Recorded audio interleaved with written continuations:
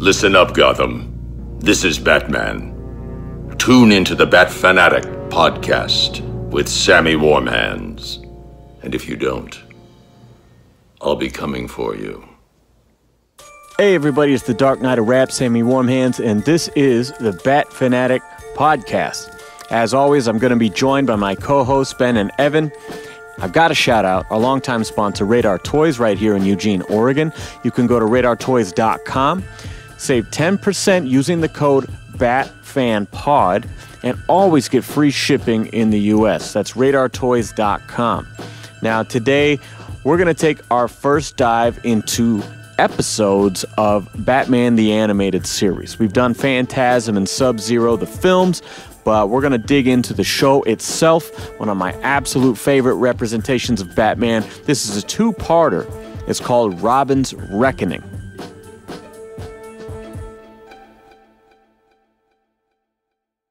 All right. As an introduction, I posted to Instagram if anyone had any random questions for us on the recording today.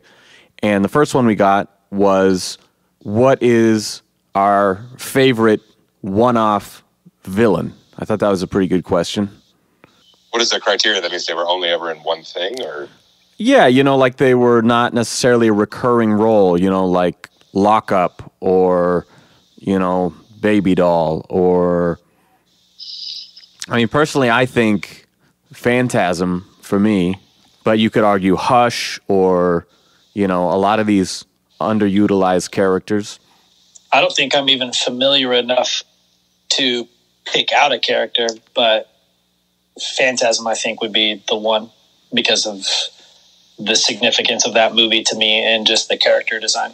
It's hard to beat, man. It really is. Yeah.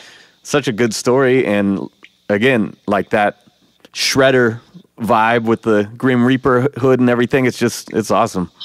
Yeah, I like a skull mask and a hooded character with a knife hand. Yeah.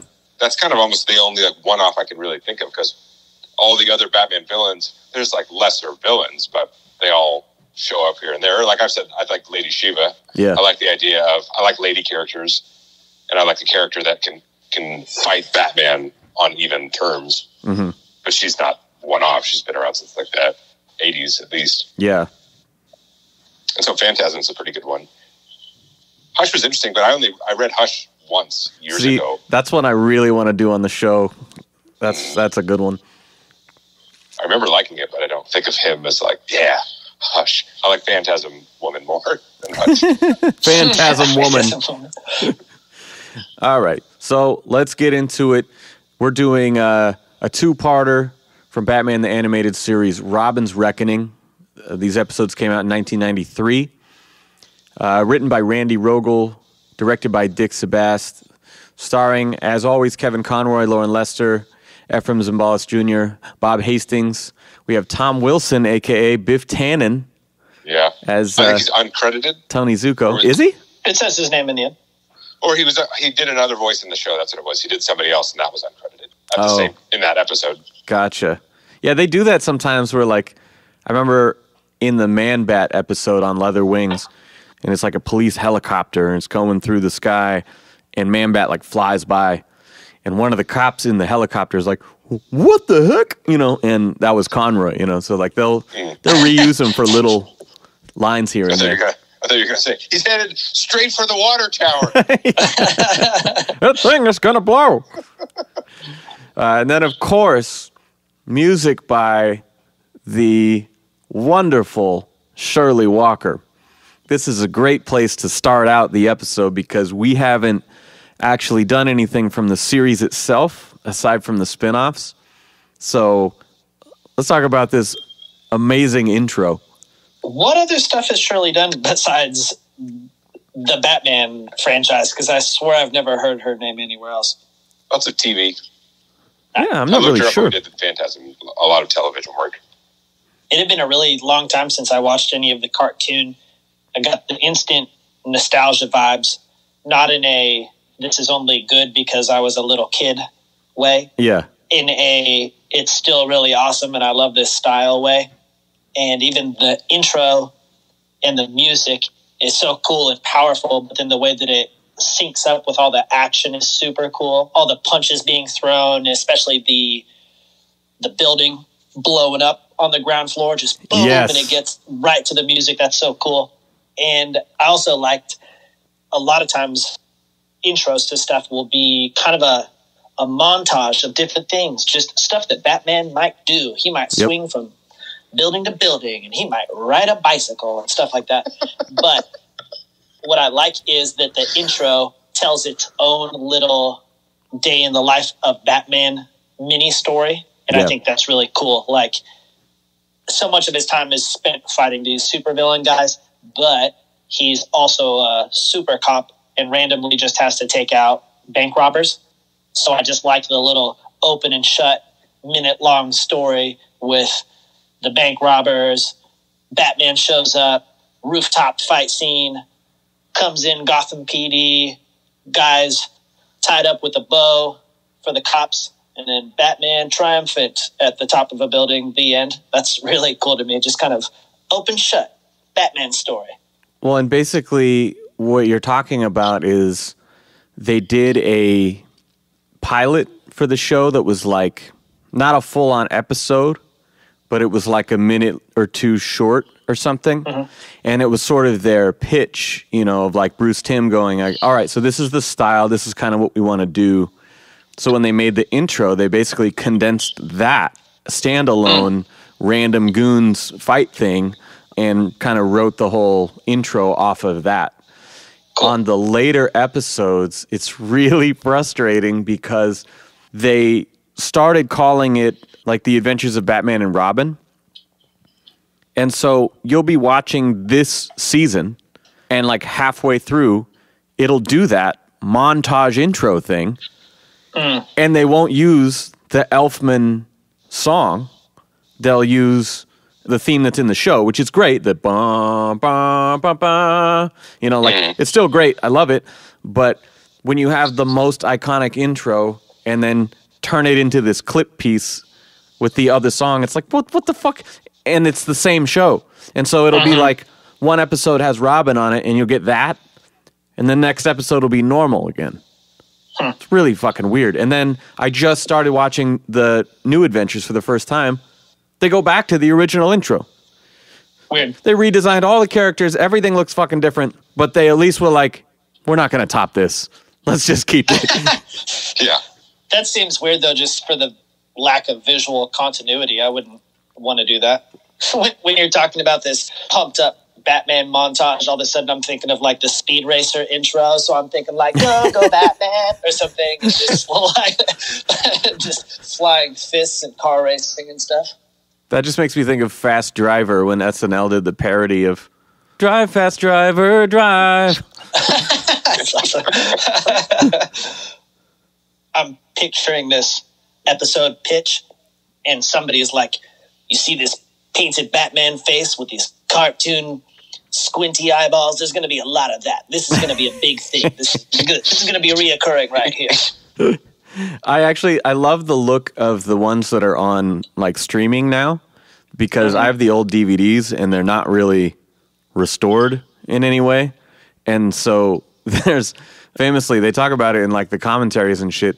That close up of his face on the roof in uh-huh. every episode, there's this big white mark on his cheek because there was like dirt on the film or something. Mm. and so it's like the big close up, but it kind of looks like shit. And so on the new ones, everything is super sharp and color is touched up and it looks super awesome. Like normally I don't care very much about restorations, but when I started streaming this on DC Universe, I was like, "Oh my god, I'm never watching my DVDs again. This looks so good." But when it's all mole, mole, mole, then you just you just can't stand it. Mm, oh. Shut up, That's Ben. an Austin Powers reference for anybody who uh, didn't get that. Yeah, baby. Very psychedelic. Do I make you horny? So we open with the uh, skyscraper construction site. Robin is kind of out of character being a whiny little bitch. You know, it's like, do we have to stay here forever? Can't we just go and, you know, like, this dude is in college Um, He says, "Yeah, time to kick some butt." Yeah, and you think he's probably been Robin for a while at this point, so he'd be used to sitting around just waiting for stuff to happen. yeah, I think really what they're trying to do is they're setting up the sort of conflict with Batman and Robin because this episode, more than most, he's very stoic and gruff. He's much more Batman like. Exactly. Yeah. There's there's no real soft edge to Batman in this episode. Their interaction in the beginning, where he's just, uh huh, uh huh, like Uh-huh. Robin's just like just prattling on it. Shut up. Is that how you guys are when I start going off about some shit? Uh-huh. uh-huh. yes. Mm-hmm. This uh, intro fight scene had some of the best, like, the only thing that kept Batman from breaking his code of not murdering people was like a conveniently placed crane outside the building because he, he's just like two foot kicking people off Yeah. the girders into space. Yeah. he's all right. He landed on the plywood. Yeah, there are random platforms floating out in the air. Thank God for those. It's funny because I remembered this episode being so good, or these episodes being so good, right? And then when I turned it on in the first like three or four minutes, I'm like, wait, it, this is the tone of the. This is different than I remember. You know, it's like a bad fight scene where he's like struggling to take out random goons. You know, there's that shitty banter right before that that we were just talking about. I was like, this is the vibe, but then very quickly it turns super serious. You know, As soon as he tells Robin to go away. yeah, yeah, exactly. And because he like hears that name, was like, wait a 2nd mm-hmm. What, what was, what the fuck was it? Marin? Oh, Billy Marin. Yeah, yeah. Yeah. And he's like, hang on a Bobby second, McFerrin? go get the car, you know? And I love the shot where he pushes the guy off, Robin catches him. Batman is like hoisting him up and is like, it's you, me, and 30 stories. You're going to tell me what I want to know. You know, like, ah, it's so good. And the, the guy's like, the cops wouldn't leave me here. He's like, we're not the cops. You know, it's it's almost like a little bit of Christian Bale Batman in that. I like hearing Conroy's version of that badass version of himself. Yeah. because I think Conroy really helped instill the way that that I've talked about the way that I picture Batman, just not saying a lot, only saying what he needs to, Mhm. being so composed that it comes across in his vocal tone. I think a lot of that was extra instilled by Conroy because he has the ability to sound calm and gentle or just kind of straightforward and commanding and He has a very to deep hear voice, so it, it's Totally, powerful he- even when he's talking slow. yeah, he doesn't have to yell to have presence. Yeah, I think you hit it with presence because both Keaton and Conroy get the credit for like the two voices. Yeah. You know, Keaton's very minimalist, doesn't say very much, but his is such a visual presence versus Conroy's voice. Like you said, it has this extra resonance, and there's something about it that is so commanding that he can mm-hmm. do very little and have it be the most impactful. Mm-hmm. Back to Robin's being snotty in the very beginning. He says something about Batman treats me like a kid, and then he immediately kicks a rock like a kid, like duh, dipshit. And you were just saying that as soon as Batman hears the guy's name, he's kind of, oh shit, he knows what might be up, and Robin shouldn't partake in it. Yeah. but as the audience member, you don't know what's going on yet. And I wonder if their little interaction in the beginning that made Batman seem like he was kind of tired of Robin uh, already, like they were just having an off day and Robin was just bugging him. I wonder if that was just to kind of a little mini misdirect. So they set the stage like they're just having a day and they're getting on each other's nerves. And then when the guy mentions the name, you think a little less of it because maybe Batman just wants some space and he's like, oh, yeah, this sounds something like I should investigate solo. And, and as the audience member, you're like, yeah, well, he just, uh, you know, he's being a dick, kind of. He's he's taking it out, out on Robin. There's probably nothing else to this story. And then it turns out that there is. Yeah, that's an interesting point Because I mean, he does seem surprised, like they're ready to walk out on this dude, mm-hmm. and then he says it, and and Batman kind of turns around like, "What the fuck do you just say?" You know. So I mean, there is a little bit of that, but yeah, they they did set it up well. Of like, there's already some kind of dissonance between them, you know, that would make it work when he says, "Get in the fucking car." Because if they just swoop in and they're like, "All right, we're a team and we're blah blah blah," and he's like, "Get in the fucking car," he's like, "Wait, what?" Yeah, it would seem Yeah. very abrupt. Another part that I liked about that scene is that that man grabs. I don't think that they work like this, but he grabs that rivet gun and he's shooting the rivets like a machine gun. Okay, I was gonna bring that up because I That's n- and I thought it was a nail gun, but e- either way, that can't be how that works. I mean, I've used a nail gun. No, I've built so. a fence, but and I was thinking, well, maybe there weren't all these safety precautions in 1993 because you know, think about like yeah, OSHA didn't exist in 1993. well, I think of Happy Gilmore. That came out around this time, like 95, 96, right? And the joke that he shoots his boss in the head with the nail gun when he's target practicing, like, those don't exist like that today. So maybe that was a thing back then. So what I don't know is that you have different safety precautions on different styles of nail guns, say, but one of the really common ones is that the end of it has to be like depressed Yeah. to a surface That's in what order I was to thinking. shoot the thing. So like maybe a rivet doesn't and you could just totally blah blah blah just blast them wildly in the air. but I kind of imagine that it has to be pressed up against something. But a rivet is more or less like an incredibly heavy duty nail gun because that's what the skeletal structure of a building like that is like steel I beams.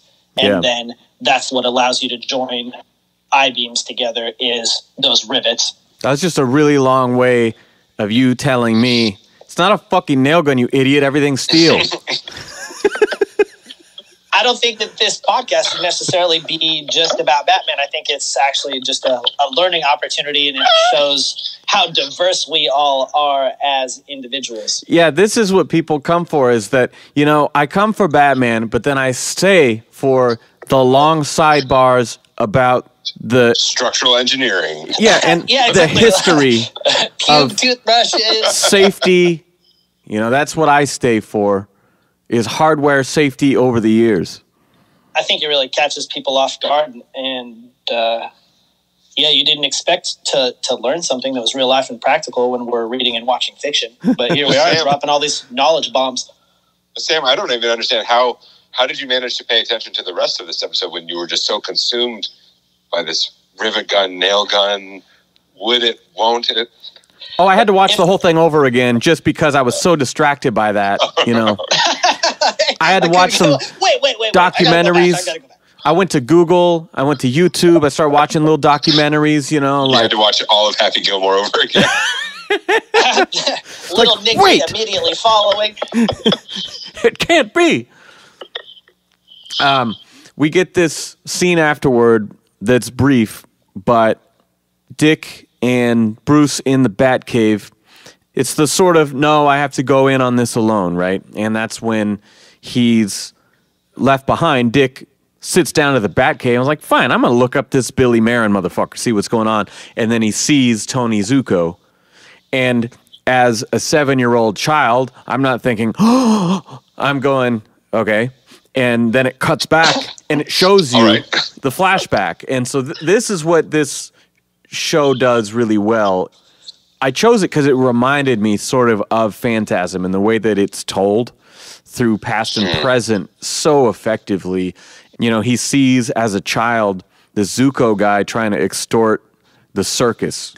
Then he sees this dude later when they're about to go on stage. It's like, hey, that's the guy. And like, shut up, you little bastard. It's time to go on stage, you know? And um, I just really like the way that they thread the needle on this story, you know, and, and especially coming out of Dark Victory, where we just had that little silent montage that was so beautiful. I feel like this is an equally powerful telling of that story. I like that that elephant seemed much smarter than an elephant should be. That elephant was watching him do acrobatics and smiling. Elephants are pretty smart. They're Yeah, smart, I- but I don't I think they think look they're up pretty smile. smart. You just Yeah. took me right out of the show with that. You know, Yeah. Yeah. For me, it's the elephant. For you, it's the rivet gun. Everyone has their uh, thing. Yeah. basically, this whole episode's unrealistic. I mean, you're about to say that I haven't spent a lot of time with elephants. yeah, I- correct. That, I, I'm extremely offended. well, I mean, I mean, either that or you have and you just don't do the kind of things that make elephants smile. He actually does the what it is. Elephant Fanatic podcast separate from this. That's that's his other hobbies. I play video games and I make them watch. Uh, I agree, Sam. I think that I love the two episode mini story and the way that they infuse the flashbacks at good times does really remind me of Phantasm and is really effective in the storytelling. Also, this versus like Batman and Robin, and Robin is already looks like an adult Yeah. character. You know, you know, generally he's a little kid. And one thing that you can't really gather from comic books so much is his parents in this seem like genuinely kind and compassionate people. And yeah, for sure. They seem warm. they do. They, you know, his mom's like holding his shoulders and encouraging him or something, or like his, you know, dad would touch his shoulder or something like that. Like they genuinely care for this person, and that much harder to lose somebody who's such like a warm, caring presence in your life. Yeah, they do a really good job in the time that they had on screen, Mhm. Despite the uh, child endangerment. Uh, after a short amount of research, it would seem that a rivet gun might, in fact, fire continuously as long as you held the trigger down and would only have a real safety feature if you installed one. And I wouldn't be surprised if back in the day that wasn't even an option. We need to get these automatic rivet guns off the streets. Yeah, yeah. Don't you dare try to take away my God given rivet guns, Sam. That's my it's my privilege as a Caucasian Christian American to own as many automatic rivet guns as I want to. Oh god. Um, I also like in that scene that when they announce Bruce Wayne is in the house and the spotlight cuts over to him, he's like, "Time to put it on," and he fucking like dumps his popcorn while he's trying to wave and like knocks over his soda and like tries to catch him over the side, like, "Oh well, shucks," you know, oh, that bumbling idiot. like how's that fucking guy so rich? It's just because of his parents. It'd be awesome if his instincts kicked in and he spilled all of his popcorn, but then also snatched each popcorn out of midair with a two finger, like "Oops, that's like daisy, a- the Tobey Oh. Maguire Spider Man in the in the Yeah. cafeteria where he like catches all the shit. Oh yeah, so then we get the uh, undercover scene, which when I was taking my notes, I was like, oh yeah, yeah, matches Malone, matches Malone. But then as the scene goes on, they're like, you ask a lot of fucking questions for somebody we never seen, like, what's your name? And he's like, Smith. And I thought, wait, that's weird. Because I knew he used that other alias, but maybe it was just a one off or something they came to later. But John Smith. yeah, Don't think anything funny about me. that wouldn't be Sergeant Nothing Smith, would it? Ordinary about that. So, what do you think about the voices in this scene? Because uh, you know, I like the uh, stereotypical, you know, Godfathery voices, and you didn't like that in The Dark Knight. So, does it work for you Oh. in a cartoon? yeah, this upsets me just like the Dark Knight deeply. Deeply. I, uh, I had to So corny. I had to cut myself just to get rid of the anxiety and pressure. Uh, no, I think it works with it because this show has that vibe of like classic mobster throughout it. Yeah. so it works fine. I mean, that was my only gripe is that he's not matches Malone, but otherwise, yeah, they all, oh, is it agent? Is it uh, what does he say? Is it is that Detective Smith? Yeah. maybe Sergeant. yeah. I like that. That's a good line, honestly. It works in this. It doesn't work in a super hardcore, fucking realistic modern crime thriller.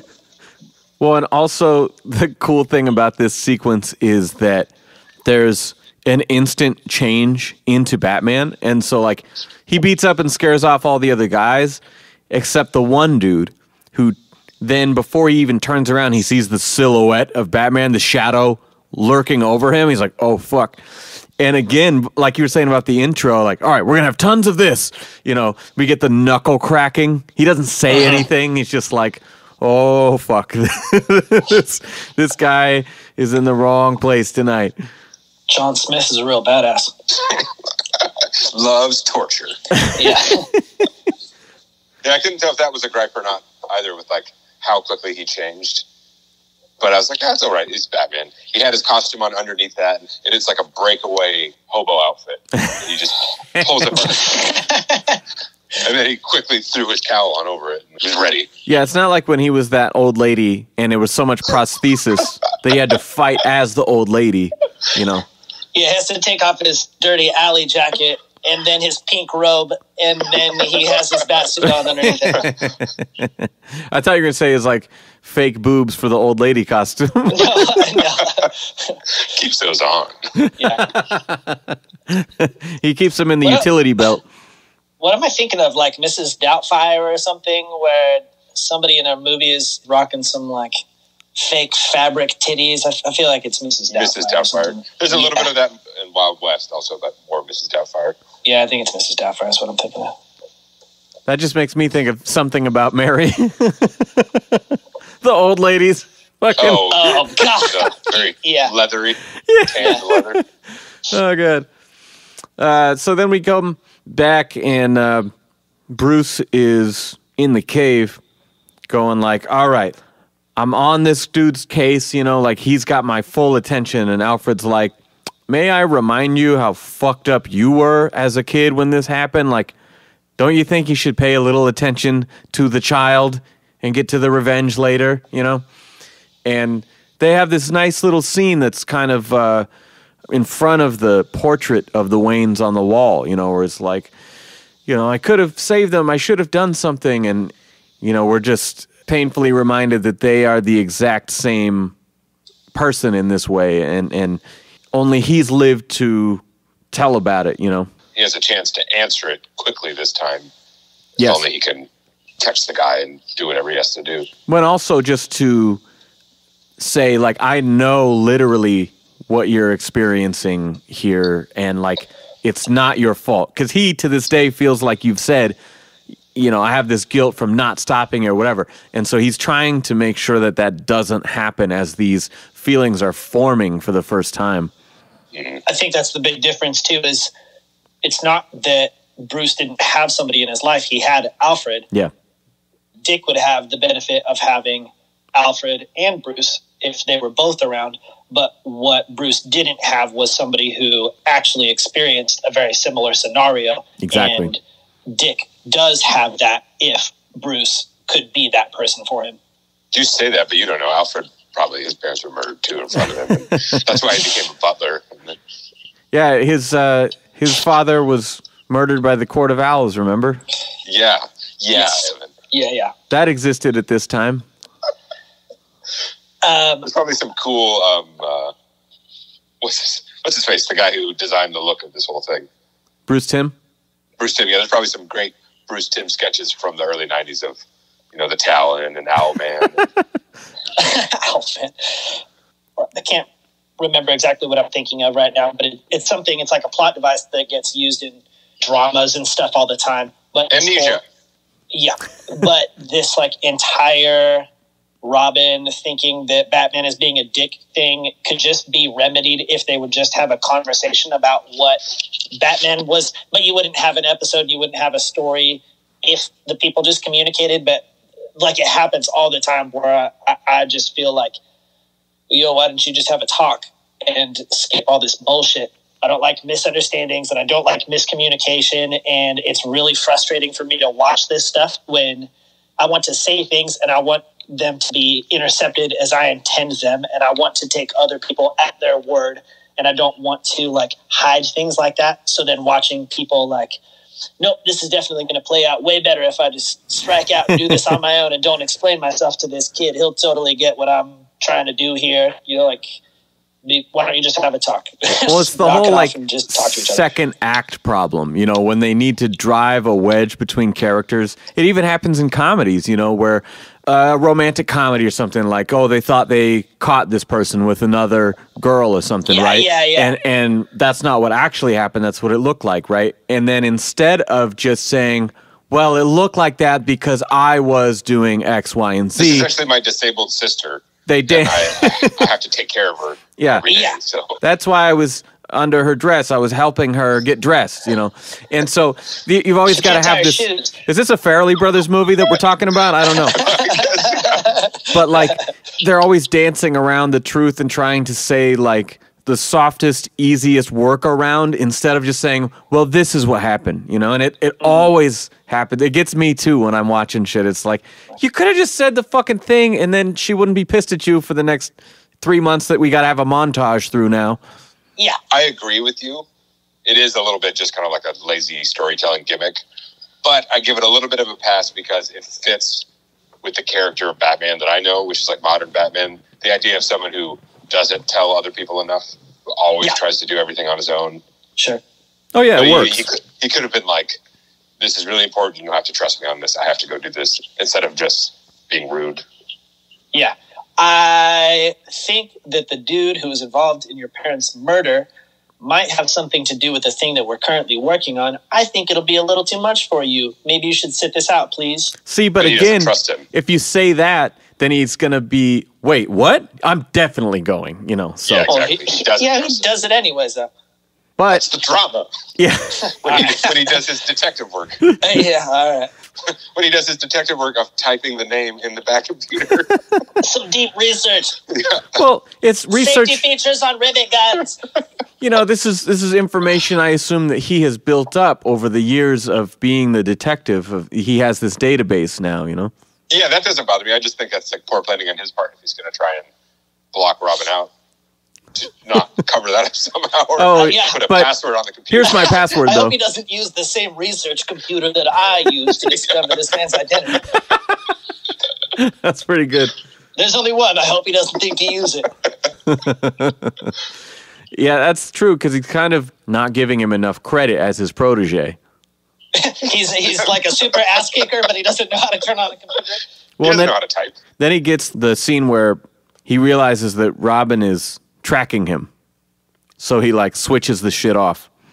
Then we kind of immediately jump back in time. We don't really see where Robin goes instead. Gordon comes over to the house and was like, "Well, we you might not have to keep the boy, you know." Um, it's like I we're really close to Zucco and uh, you see the kid through the door going like, "Oh shit, I'm going to get given away now." Like they don't spend mm-hmm. too much time on it, but it is a real threat. You're going to make that elephant take care of me. Oh, she's all right. She keeps fucking with me. They only pay me in peanuts at the circus, and it's exactly what the elephant likes. Takes all my money. since they explained that Zucco's a flight risk, Dick's like, I'm gonna go after him. No training, no Robin, just a child going after this dude. And so we see him kind of going around the streets in these shitty neighborhoods with a picture like, Have you seen this goon? You know, and I also thought, do you guys notice the voice of the bus driver being a little bit It's like a black man. incongruous. Yeah, because it's like this Yeah. Mr. Feeney looking white guy with a gray uh, mustache, and then you get like it's basically uh, Michael K. Williams from The Wire.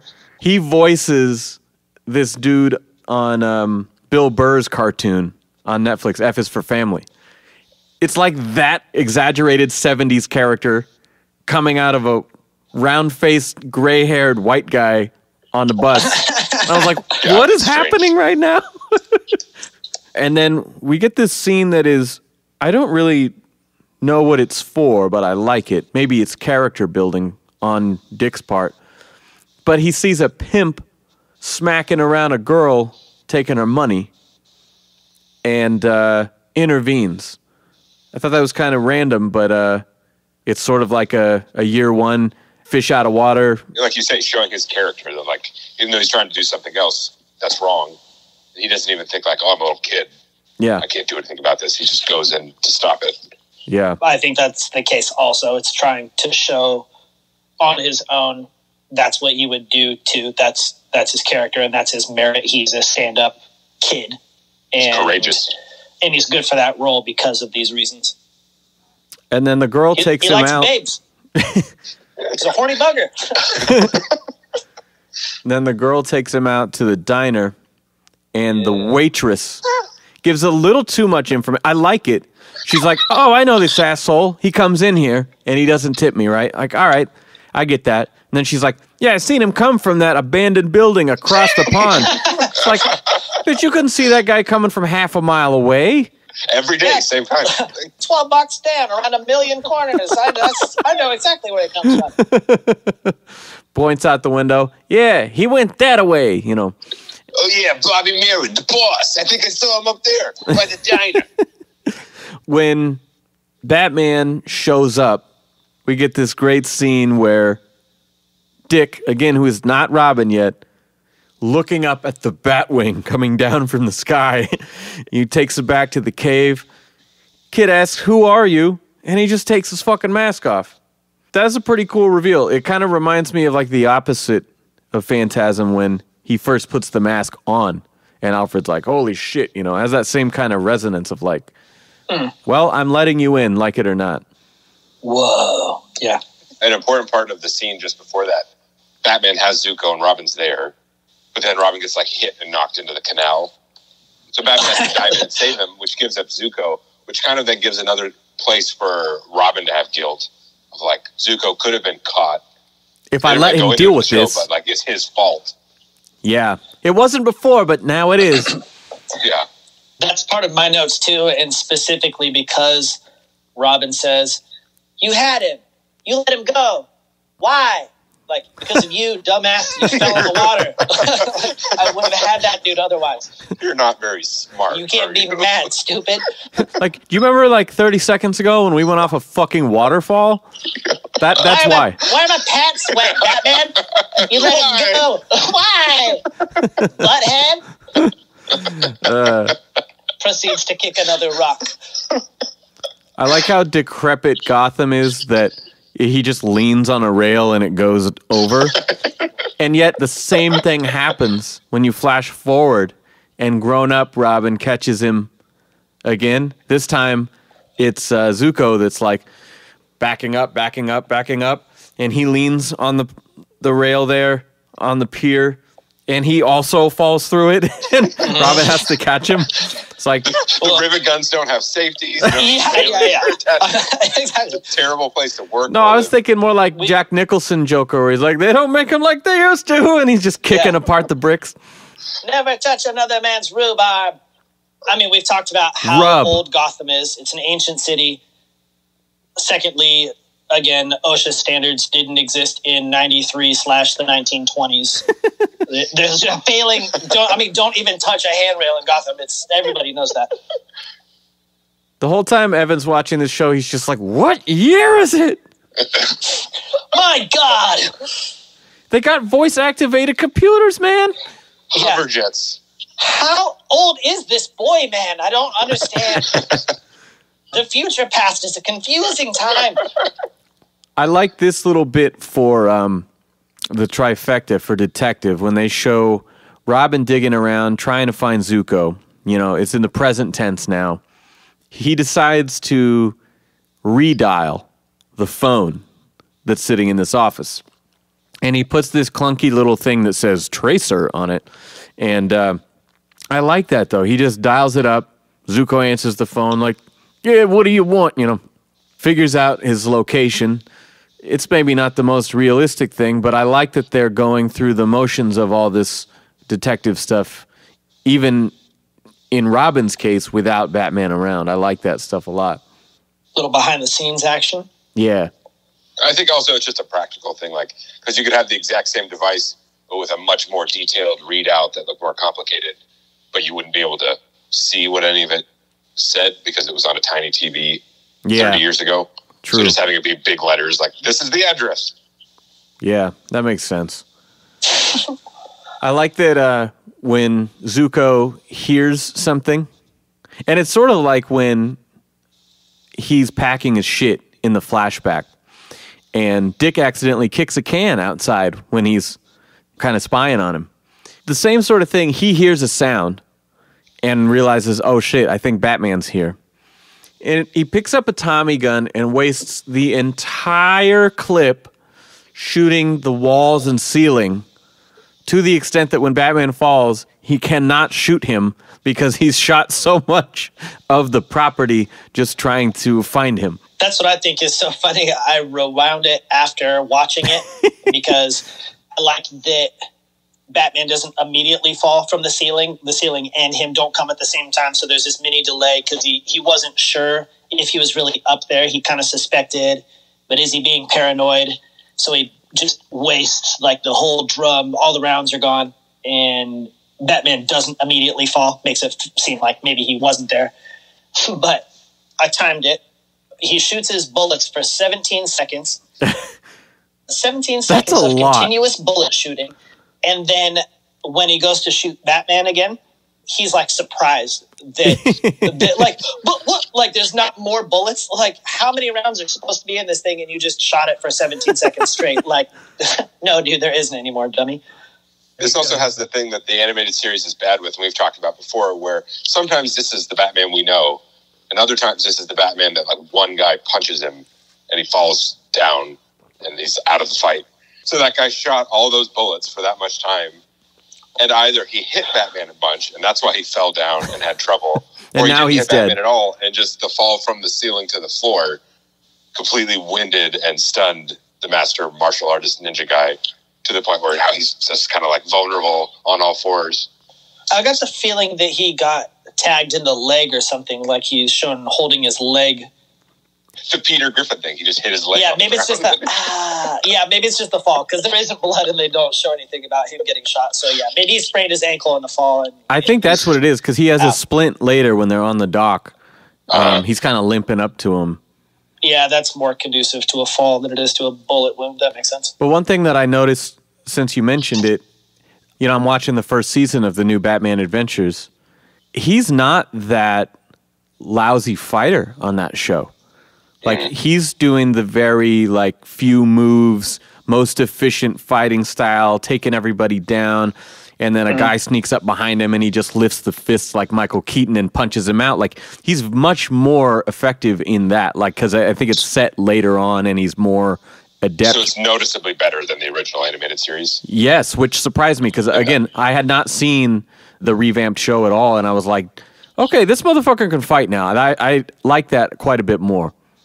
Well, like the choreography in the fights in this, or like the, the intro fight at the construction site, the choreography is still good. Like the Yeah. judo and jujitsu moves he's doing. Yeah, But yeah, he's just not like that good compared to what we expect for Batman.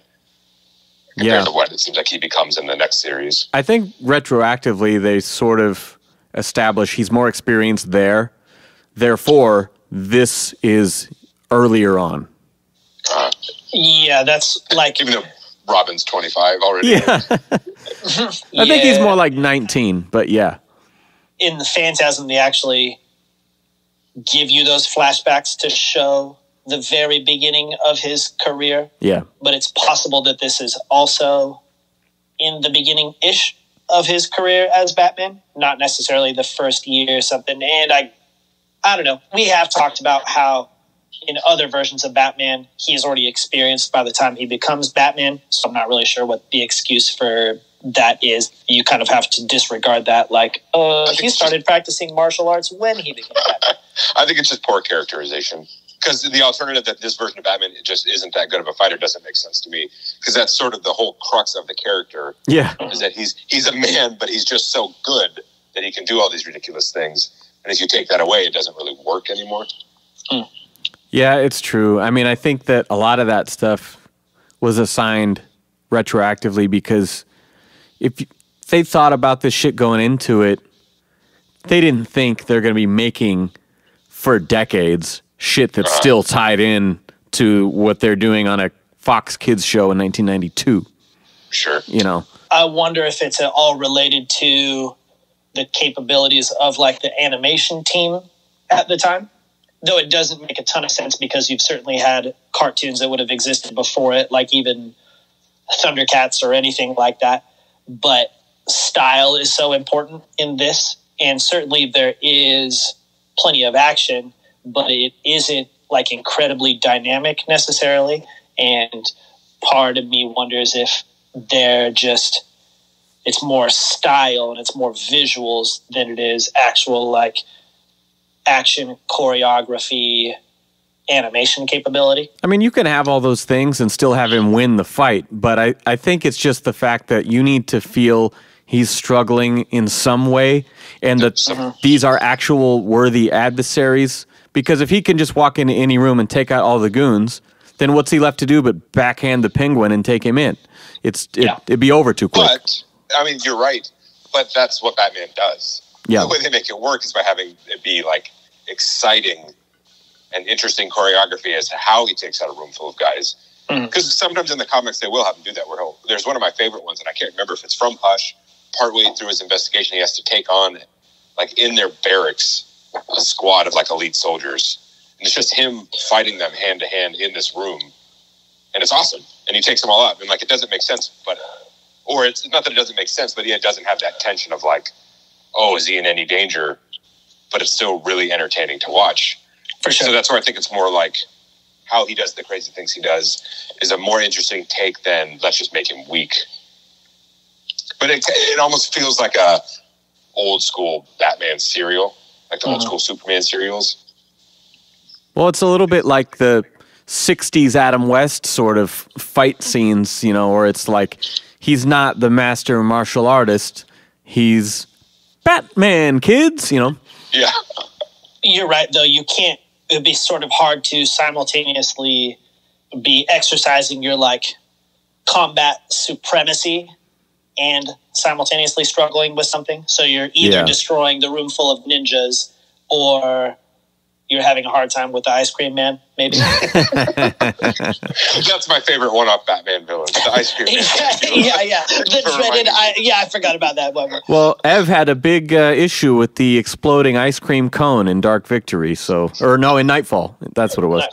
They just didn't explain it, you know. I was Like they give you a Hello Kitty mug and a like plastic ice cream cone. It was Tell like one of up. those when you're a, a kid and you have the toy one where you push a button and it like pops the ice cream ball in the air and it's foam, you know? Mm-hmm. It's like that, but you push the button and it's a bomb. but it destroys the toll booth and the bridge and stuff instead. yeah, yeah, there you go. It's a detonator. Yeah, yeah, okay, yeah. I mean, if somebody would just tell me that, then you know that's all. I be need. okay. Yeah, it wouldn't bother I'm just like Ben. You know, Ben needs his little like science montage and stuff, and I need like, you know, Joker goes to the place where he stores his nuclear missiles and also creates a, an explosive ice cream cone. There's a skull and crossbones on the freezer as he lifts it up, and you know Yeah, something is up exactly. with that ice cream. Yeah, Robin's got his phone tracing little block. You know, give me the behind the scenes. I need that BTS. Now he goes to that place in A Death in the Family where he keeps his nuke in that warehouse, Yes, exactly. and then he opens the cupboard and oh, oh shit! And then we get a beautiful cameo of the Ayatollah handing Yeah. yeah. ice cream cone. Hey, what's up, everybody? yeah. So back to the present tense. Nope. Another thing I like about this is the finale takes place in the amusement park. Normally that would be a Joker gag, but this feels very. There was a Dirty Harry sequel that had a similar resolution that was in like Coney Island or something like that. And it was this like beaten down old amusement park and it just has this uh, the right kind of vibe for it. I don't know. I think it works really well without being a Joker set.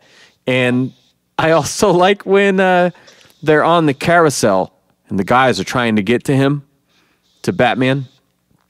And Zucco comes up with the Tommy gun and he's like, sorry, boys. And he's just about to machine gun everyone. He's like, my bad. And then he's about to just machine gun his own people yeah. to How am I going to spend my check Hopefully get to Batman. kill me, man? I don't Yeah. even get that. exactly.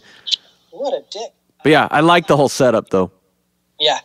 In a carnival scene, Batman hobbles off and jumps into a, a little carnival game that's called the Sitting Duck Shooting Gallery. Nice. That's good. I can't. I, I like. Yeah, I didn't. I like that. Yeah, it's Good. good. I like words. um, I couldn't remember I, if it was in this or it, it had to have been in this or Curse of the White Knight. But there's a there's a scene that shows like the cityscape, and there is a Statue of Liberty like out in the water, and we're always talking about like where is Gotham? Like, Yeah. what is this place? And this Statue of Liberty, like, very clearly makes it look like a certain place. It's the statue of Lady Kansas. It's right in the middle of Lake Kansas. Gotham is on the shores of Lake Kansas in Kansas. yes. Oh man. Fair enough. Debunked. Moving on. Now, coming out of the amusement park scene, Robin shows up. It's kind of like in Batman Returns when the bat ski boat comes and decapitates the duck as Penguin's driving. You know, the fucking mm. motorcycle just flies right overhead like it's going to land on him. So Zucco starts shooting at it, but the base of the motorcycle is protecting him. And I love how Robin fucking grabs him by his shirt collar as soon as he lands and drags this motherfucker down the pier and spins out and throws him. Like that was such a mm-hmm. badass fucking move. I love they gave him that little cool action moment when ultimately he's going to have to step down. They still give him this cool bad guy ass kicking thing, you know? Yeah, that part is badass. He's not the helpless little kid anymore. That whole his final confrontation with Zucco is like that because anything Zucco does to stop him, he just immediately deflects or defends against because he's basically little Batman. I'm looking at my notes and actually it says so ducking badass. I didn't catch the autocorrect there. You're just trying to clean it up. I appreciate that. Thank you. Yeah, exactly. I want to keep those ratings high and watch my Yeah. fucking mouth. Five stars plus. Monkey fighting goons come up to Batman and they're like, shiz. Oh, shoot, dang. Well, because I watched this a while ago and uh, we rescheduled, I watched it again just now before we started, and uh, Ange was laughing sitting next to me when Batman's holding the guy in the beginning who's hanging, and he's like, "Listen here, scumbucket," and she's like, "Scumbucket." Oh, that, I, I can't even remember where it is. It all must have been like very near the beginning. Pretty sure it's Batman, but I just have four lines in a row that are quoted lines, and the very last one is, "You don't want to see me grumpy." yeah, yeah. like, oh, fuck. That's when he goes to that So hard. Stromwell guy and he puts the uh, the tracker under his chair. It sucks because that is such an awesome, serious noir scene, and then it ends with that line. Again, that's the funny parallels of what's acceptable in terms of things you say and what's acceptable in terms of things you show. So it's like, you don't want to see me grumpy. And that's about all they can get away with. And then we're going to watch him probably about to torture someone by beating them until they Yeah. confess. and that's cool. Yeah. Well, it's weird though because you could have played that slightly more seriously just by saying angry, but then they're like, "Well, but the Hulk says that. We can't say that." And instead of going back and rewriting the line, they're just like, eh, "Make him say grumpy."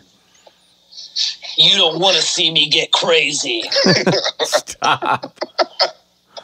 Oh man, I really, really, really like the closing bit. Robin wants to throw him off the pier. Batman shows up. The cop cars are showing up. It's all coming to a head, just like a great action movie would kind of wind up. You know, like he makes the right call. You know, he pulls him back to safety, and there's that great line where he's not decided to let him off yet. And he's like, You don't know how I feel. You could never understand. And then actually makes eye contact with him for a second and realizes how fucking stupid and self centered that was to say. And that was kind of the tipping point that's like, fuck. Yeah, you do. And you're right. God damn it. For sure. And then they close with the best possible Batman shit, where Robin's like, you know, you were right, and you knew that it would be too much for me. And Bruce turns his back, puts his head down, and says, Zucco's taken so much, caused you so much pain. I could stand the thought that he might take you too. And that really shows that despite them butting heads and all this other shit leading up to it, in his own way, he was only trying to protect him. And that just gives so much more heart in the last 10 seconds or something before it fades into the sunrise, you know? Yes, instead of it just being, you can't handle this, you're not skilled enough yet. Yeah, that's the brilliance of the show is that for all the nitpicking that we do, it's got this awesome noir detective vibe through it. And I mean, fuck, for a two parter on a kid's series, I mean, this is it's a really great episode. And you feel satisfied, but then they give you that extra little thing being like, no, guys, we really get it. We want to do this as good as the comics would do it, you know? And uh, that last bit just really drove it home for me. I think a big thing with Batman is, like we talk about, his lack of explaining himself or feeling like he needs to or being accustomed to it or anything.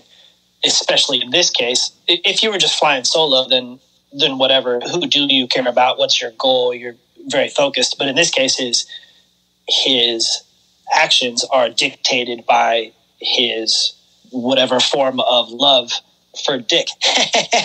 I was Oh, waiting you're for a dick joke. I got- Immature. I Yeah. gotta go. I need to leave. um, sorry, Senor Grayson. Somebody's sitting home with that Batman bingo that I just made. And Yeah. we have a whole episode where he said dick like 49 times. And they're like, they're Dick not going to make a joke. Give me the fucking square. Come on already. Well, there you Richard go, everybody. Fondness. Yeah.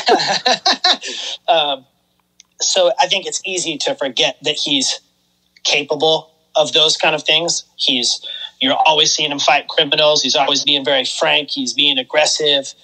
Seems kind of devoid of all this stuff, but really his whole persona is rooted in feelings and trauma and you know piled up scars and stuff. And so that's what this stuff really needed anyways was Dick needed that explanation. Like, where are you coming from, dude? And so to have him not even like beat around the bush and really just kind of give a sentence of just really sharing his feelings with him Yeah. is super nice and really shows that that he's capable and that's where he's coming from. And how could you argue against that? You know, he he loves me. I appreciate how concise it is. That's the benefit of writing stuff. Nobody talks like people in movies because you have the benefit of refining stuff. Yeah, exactly. and making it as concise as possible. And I just like how straightforward his sharing is. And then also considering that this is something that a lot of children were seeing, even if adults also liked it. And the people who were children ended up being adults and continued to like it. There's that element of let's sneak in the good life lessons also. Yeah. You know, teamwork, sharing, compassion, blah, blah, blah. Family. Yeah, family. So to sneak in that little life lesson sentimentality at the end is is very nice. Well, I also like looking at it that way too, which I hadn't, because then it's also showing however many millions of children look up to Batman is like what a tough person is, how how to be tough. The idea that that guy can also be emotionally vulnerable. Totally. And if just in general and society, that should be what a man is capable of, like handling his business, speaking up for himself, protecting other people, able to have feelings and share feelings. That's like the spectrum. He's a character that's larger than life, but he's also just a good example of a man. So you're telling me Batman is on the spectrum? I mean, yeah, Yeah, I mean, possibly he's like he's fucking wears his underpants on the outside. single-minded. All right. Wears his underwear on the outside. Those two alone would already yeah, something's up. really into his hobbies and interests. Yeah, look at the people that he hangs out with. Like, are these bad guys or are those his weird buddy friends he's playing some stupid game with? So that's a good segue into Easter eggs because my only Easter egg was about the suit, and that is that in the flashbacks, he looks a little more like the Killing Joke Year One black chested logo, a little more no frills than the brightly colored suit that we see.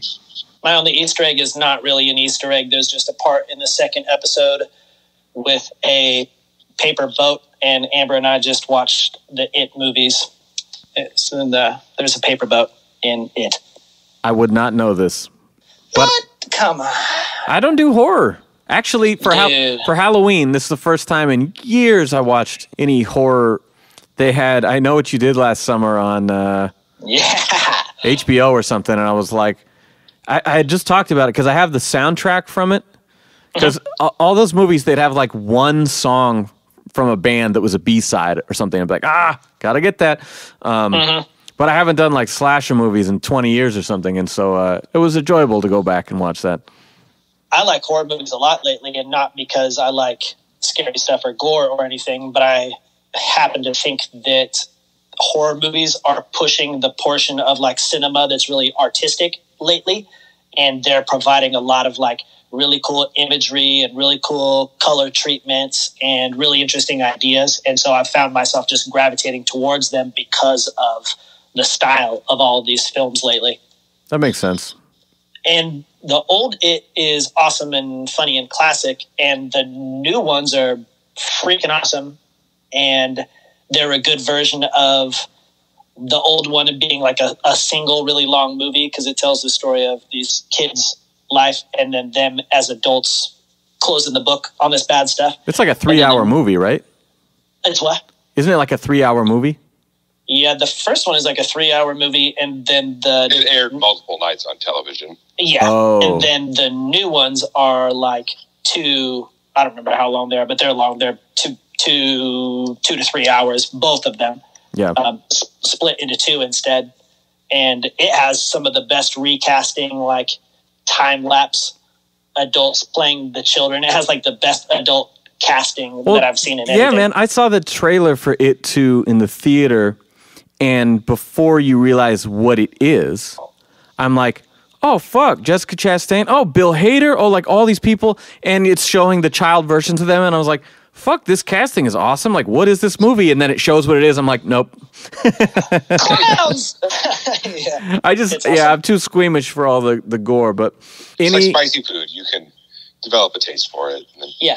Just have to expose yourself repeatedly to all the horrendous stuff. Yeah, and then eventually really it becomes easier numb digest. your senses and your. see, you're relating that in a way that implies I would understand that trying other foods oh, That's would allow me to appreciate it. It's like a really great cheese pizza or macaroni and cheese, or maybe buttered bread. Is that a thing? Like it's a great buttered bread, like kind of different from the buttered bread you've had before, but still. Yeah, but yeah. Do you ever want to Yeah. try different bread or different butter though? Pros? I like American cheese. That's my pro. Caucasian, white god American cheese. Uh, the animation, as always, it's just like splendid. I'd forgotten they did the little title screens before the episodes. Yeah, I love the title that is cards. super cool to me. The intro is just as powerful as always, and the style is super awesome. And it, I continue to like it, and it reminds me of a time when that was new to me and how cool it was then. But then all those little elements, including the little title screen, the the little musical intro, you know, that painted single frame, and it always has that like Art Deco lettering, and it's Yeah. just like everything about what they're presenting to us, and the style of all of it is so cool. There's even a book that just came out that's like just the title cards and like updated versions of the title cards. Oh, Um, cool. They're pretty it cool. feels like a um, in line with old Looney Tunes, Warner Brothers cartoons, where Yeah. they would all Ah. have, and even along with that and before that, like just the way shorts, the idea of shorts, it'd be like a twenty-minute thing before a movie or a little. Oh, yeah. like the Three Stooges all do it. Just old, old shorts all had little title cards for their twenty-minute presentation, and it just makes it feel more classic. That's true. Plus, we weren't keeping track of episodes back in the day. We were just like digesting them as like, oh yeah, I got off of school and here's a new episode and that kicked ass and you remember the storyline. So if you were telling your friend, you'd be like, oh, did you see the episode of Batman where the robot Clayface swallows him? And we didn't have the benefit of like DVDs or anything that would have episode listings. Yeah. Mm-hmm. you know? So you couldn't be like oh yeah episode three where blah happens. So giving it a title gives you something more easy to remember. You know, that way you can say like Robin's Reckoning rather than trying to remember the number or the action or something like that. It gives it something to like, this is a legitimate story and here's something for you to remember the name of. That's true because I think that there's certain ones that really stand out. I, you know, Heart of Ice comes to mind as being the most iconic from this. And if you were to just say like, "Oh, the Mister Freeze episode," and then oh, which one? You know, the original Yeah. one. Oh yeah, the original one was the best. No, there's none of that. You say the words "Heart of Ice," and everyone's like, "Yeah." You For know sure. I exactly still what that don't even know what you're talking about. What? Yeah, who's That's- Senor Frio? I don't. Who's, who are you talking I about? mean, I, know- I can't think of the episode. I don't know. Oh, I'm that's sure like. I watched all this stuff then, but I don't even know. I don't know what that is. Well, I guess we got to do another one of these because that's like the most famous one. You know that. Like you're as cold as ice. Yeah. Yeah, is that where that comes from? Yeah, that's where it comes from. So mine are the detective story with a lot of heart, the phantasm like use of flashbacks, really satisfying conclusion, and then, of course, even though I've grown kind of numb to it because I just watch this show all the time, but best cast, composer, art direction ever. You know, just legendary team, undisputed. Cons, So you're gonna hate me more than you do now. I'm out. uh, Kevin Conroy a little bit. And let What? me explain. Put your gun away and let me explain it for just a second. It's so I watched these cartoons when I was younger, and then a couple years ago I watched some of Batman Beyond, and so he reprises his role as Bruce Wayne. Uh, I'm then- listening. my, uh, most of my experience within the past 10 years or more of Kevin Conroy's Batman is the Arkham games Yeah. And he's great in that. Like he has all the presence, the power. He's just he's excellent. And then watching this, and I don't remember thinking this in Phantasm, so maybe it wasn't an issue, or I just wasn't thinking of it. But this, and there's the, the kind of the first Two Face episode. There's a scene that really highlights it to, for me. He sounds like he has a cold, both in terms of like he kind of sounds a little, a little nasally, a little bit, but also he talks very slow, and he's just not very forceful. Where in the Arkham games and the modern stuff, even Batman Beyond, there's more energy to his performance. It's just kind of lacking compared to what I have come to expect from him. Well, the Two Face one that stands out to me is right after Two Face gets half his face blown off, and it's an amazing scene on every level, like the animation, the way it's shot. But he looks at it and he goes, "Harvey, no." It's just- it's That's just- a fucking awesome scene. You could fuck it, it is yourself. awesome, but that that delivery compared to what he does later as Batman, I'm just not that into it. Is that where Christian Bale drew influence from, like the plugged nose Maybe Batman thing? Is it is actually like a throwback the whole time? yeah, he researches the roles. But do you think that you are in? I mean, granted, I don't know what Conroy did before this stuff, so maybe it's like kind of early on in his voice acting career. Theater. He did theater before this. Okay, so it's possible that that's like early on in his career, so his mm. performances aren't as good as they would be twenty years later for these games. So maybe he's just better. But I also wonder how much of it is related to just the way that you absorb that stuff. Like Yeah. I think I think maybe you're having more fun playing the games and you like that visual representation of Batman and possibly the writing also more than you like the animated series Batman and so the whole thing it's like the package is what really sells you on it. There's definitely some of that, but no, I mean, I think if you if you listen to his vocal performance from this and then anything from the games, it's just a better performance. And the quality of the recording is better, so that's probably part of it. But Sure. just his performance is better. The same character, just a better performance. And having no experience with the games myself, I can only say that I prefer his earlier like animated series stuff to the later films that he does mm. because I think he had more depth and dimension and heart in the early characterization than in the later ones he seems to have done away with some of the duality that made his performance the most iconic. Like it is much more straightforward, just extreme gruff all the time.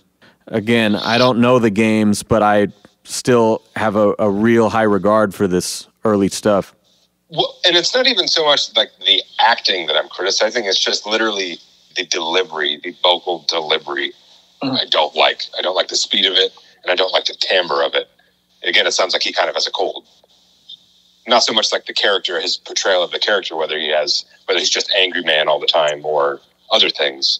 I just don't like the sound of his voice in comparison to the later stuff. The sound of it. The sound of it. It's music to my ears. Roger. Um, I really only have for cons that there's just a couple of dumb lines, you know, and that's just true of any episode of this show, you know, the grumpy thing or whatever. That's really all I could fault it for. Same boat. I don't love young brat Robin because Yeah. I just don't like. Children? Yeah, I don't like that aspect of kids, and I don't like anybody who is a little bitch about stuff. And so some, sometimes he's sometimes he's crossing that line. Trifecta? I wrote for detective, yes. Well, it's more like this is this is, uh, this is Robin's trifecta for this episode, kind of more than anything. And Sure. yeah, I mean, Oh, how much of an acrobat is Robin? He swings from that tree branch really eloquently out the window. yeah, off the manor. So that was pretty impressive. Uh, his Uh, motorcycle trick, like you said at the end, that's Yeah. extremely ninja. I like the sequence where they are fencing and he's first training young Dick. He's training his dick. He says left it at that. That he says it's finesse, not strength. I like that. And then in parentheses, Practicing swordplay with Dick. and then in parentheses I wrote, but still can't fight. Any other ninja? Oh, I, I did. Even though I complained about the fight choreography and this, his jujitsu when he was undercover was really cool. Yeah. That's when I say like it's the, him not being as good a fighter. I don't think it's like an animation limitation. That's a It's just like choice. a choice they made Mhm. because the the way they animate his fighting is really good and convincing. I think the fight scene in the very beginning in the construction site is really cool, especially considering the environment. I- You can't do everything in a place like that. You have to balance on all these beams and stuff. So that's tricky. and No, that's cool. there's always like a platform nearby. for people to follow. Yeah, okay. There's a, yeah, yeah. There's always some suspended board somewhere for you to utilize. That's true. You can use it like Where a diving board. where the window washing teammates. jokers are machine gunning you. Yeah. and I do like that fight scene in the alley because it seems very practical and also he's unaided by any of his other tools. That's just him hand to hand combat with some vagrants. Trauma? It's Robin's It's- trauma. Yeah, it's not like it really story. comes across, but it is his trauma related to Robin's trauma is what drives the entire story. Yeah, I'd still take it back to that one scene of them in front of the portrait of Thomas and Martha as being sort of the gravestone in phantasm scene, you know, like of this show. I think it's very clear without being a constant discussion or something. But I think more than that, it's about the elephant. yeah. yeah, it's more about his time in the circus. I know how much of a sore spot that elephant is to you, Dick. Don't worry about Dumbo. I got Dumbo. Don't even worry about it. I'll handle that. I did it because I care about you. I know you fucking hate those things. And then When I was a boy, an elephant harassed me and my family too. And I, Yeah. You don't know how much I understand. rating, Four and a half. I can't argue with that. it's Ben's going to give it a 2. two, two. And it's not because Solid. it was poorly made. I Solid. just- You're not joking? No, and it's not. And I, it goes back. fuck? Some of it goes back to what I say when I say like, the numbers are a weird thing, giving things a numerical rating. Just in terms of how much I enjoyed watching it, it's like a two. It didn't hold my attention or engage me all that much. Jesus Christ. I wasn't doing sweet combos. I wasn't collecting new costumes. Yeah, like yeah. that. What am I supposed to do with my hands? Put them down your pants. what Yeah, you enjoy everything that you experience that much more if your hands are down your pants, everybody. Take that, life lessons. I have gone back and forth between a, a four and a half and a five, and I think that in terms of the show, that I would probably give it a five, like contained within the show, that it's it's one of my favorite episodes, and I think in a broader sense, put it up next to you know Keaton or Phantasm or anything else, and I think it's a solid four and a half. You know, Phantasm doesn't really have any of the dumb lines here and there, but otherwise, I I love it. This is the good stuff for me. No. He'd spent a long time shaking his head. Yeah, it's just, I mean, when you say it like that, I'm even more secure in my two. Because holding it up against any of that stuff, it doesn't. Like, I, for me, it doesn't hold up against Batman 89, which, I, as I said before, I'm not even that into that movie. But that's a more entertaining and engaging experience. How have we lasted um, a full year? I don't, I mean, I don't know what to tell you. I just. This show has been torture for me. You've been dragging me through this. It sucks. I hate no, no, I mean, it, it wasn't. It wasn't. That's what I say when it's a two. It's not a two in that like, oh man, I'll never get that time of my life back, and I'm very upset with you about it. It's just like it wasn't. Didn't do anything for me, and a part of it, I think it's because it's an origin story again for characters that I already know eight different versions of their backstories. So another one, it's just like, eh. and you're not the young person you maybe seeing this stuff for the first time or anything. Yeah, yeah, that's fair. But uh, and you could do that with anything, or like how I said with Dark Knight, I would give it a different review the first three times I watched it than this most recent time, having seen it way more than that. But this is the time that I saw it, and this is what we're talking about. So it's like a one. So God, upon- he doubles You down. You should probably watch it again and then get back to us again. Jesus Christ. This is Robin. Thanks for checking out the Bat Fan Addict podcast with Sammy Warm Hands. All right, that is it, my friends. Thank you again for checking us out. And we've got one episode left after this. All right, it's going to be the end of our first season, this first year. It's been fantastic. So we appreciate everybody who's been following. Again, please screenshot it, spread the word, share it to your stories, repost us. Give us a five star rating on iTunes, help spread the love, and we will be back. All right. We got one episode left. I'm not going to tell you what it is yet, but it's a doozy. All right. So stay tuned for one last episode, the season finale, year one of the Bat Fan Addict podcast. All right. Thank you guys so much from myself and Ben and Evan. Take care. Jesus Christ. Thank him, praise him. Pray to him Yes. that he can do something to change Ben's mind. Yeah, dear Lord God, They already Ben- made all the Ben money off this show. Everybody loves it. It's okay if I don't love it. desperately needs a change of heart. I think Something- Batman. I like Batman Beyond much more than the animated series. What?